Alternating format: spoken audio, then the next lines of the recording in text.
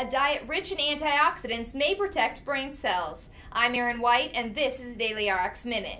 Antioxidants can be found in foods like soy products, coffee, and fruits. While older people who had higher amounts of antioxidants in their diet were not less likely to develop dementia or have a stroke, MRIs did show they had fewer signs of age related brain damage. Ask your doctor what antioxidants can do for you. And for additional health news information about this story and others, click the related links below.